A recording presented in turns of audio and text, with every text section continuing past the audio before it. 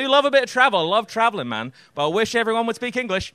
Um, not for any nationalistic reason, just so no one can fuck with me, right? I went to Kos in Greece with a couple of friends of mine. Their names were Chris and Nikolai. Sounds Norwegian? That's because they're Norwegian. And they're like, hey, Mike, let's go to Kos. And I'm like, why? It's like, it'd be fun. And I'm like, all right. So we drove there.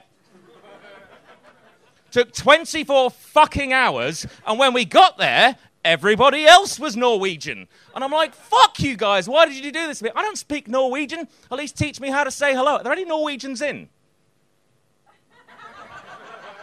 You'd be surprised how often there's a yes. Um, they're fucking everywhere. They love Liverpool. But right, so um, they taught me how to say hello in Norwegian. I'm going to teach you guys. So, right, I'll say it first just to get you on board, and then we'll all say it together, all right?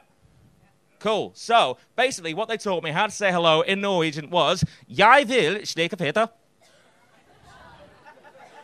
Everybody got it?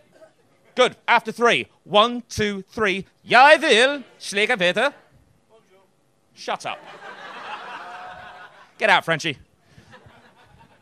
So, right. I went out into the night armed with my new phrase. I walk up to this nine foot tall Viking goddess and I say to her, Jeg. That doesn't mean hello.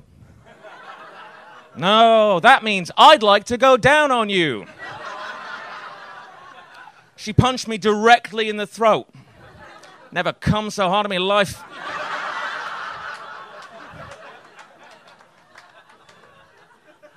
Still think about her. oh, it's good. It's good. Shut up, mate. Where is he? Where's Get him out. Have him. No, fuck it. Leave him. He'll be all right. Um, he just wants the attention his mother never gave him. Um,